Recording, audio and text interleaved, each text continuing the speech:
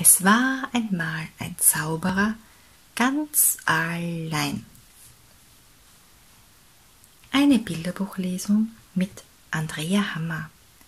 Ich wünsche euch viel Spaß und heute ganz besonders dir, lieber Lorin.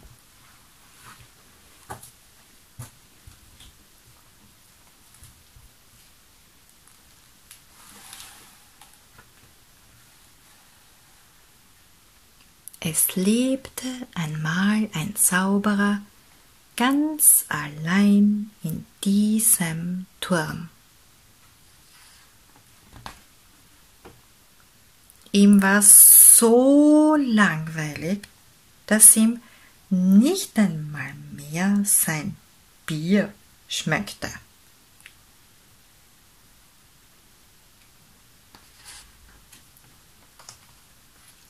Er hatte schon jedes Zauberbuch gelesen und jeden Zauberspruch einhundertmal ausprobiert. Den kannte er auch schon.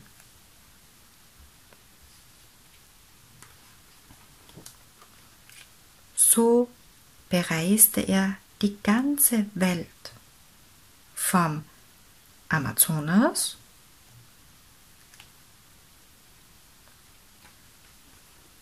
bis zum Nordpol.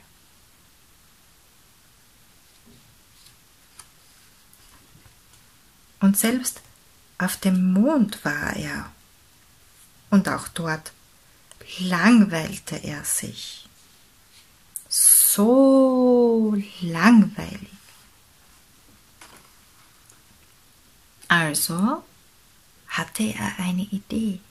Er schuf sich einen Doppelgänger.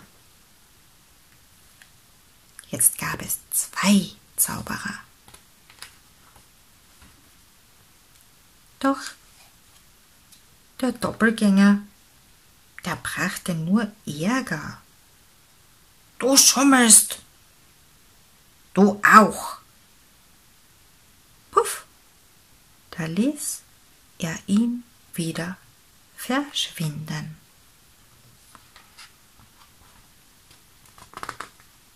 Als er eines Tages aus dem Fenster blickte, traute er seinen Augen nicht.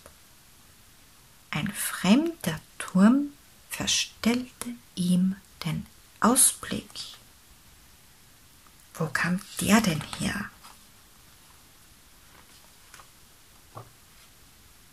Sie mochten sich nicht.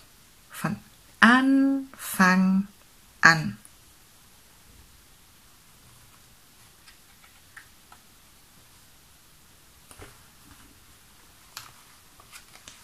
Zuerst bewarfen sie sich nur mit faulem Obst.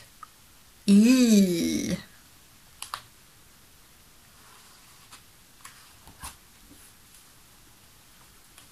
Aber dann hetzten sie ihre Türme aufeinander.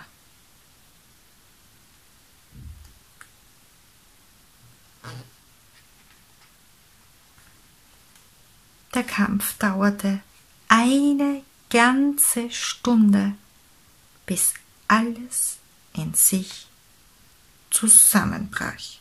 Krach!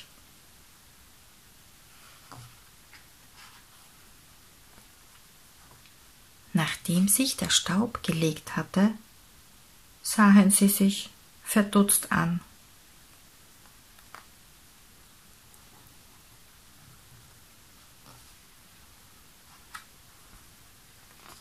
und machten eine verblüffende Entdeckung. Wir haben ja beide, alle beide eine Glatze.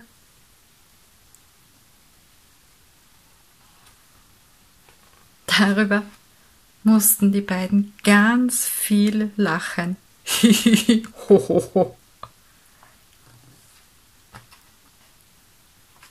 so kam es, dass sie an derselben Stelle einen neuen Turm bauten. Auch die Fledermaus und der Drache halfen fleißig mit. Von Langeweile war keine Rede mehr. Und wenn sie sich manchmal stritten, dann war das auch gar nicht mehr so schlimm. Sie lebten zusammen und spielten sogar zusammen, die beiden Zauberer, die sich gefunden hatten.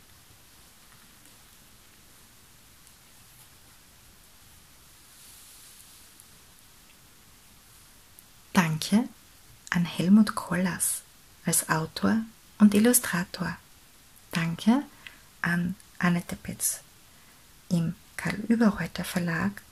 Danke an G&G Verlag www.ggverlag.at.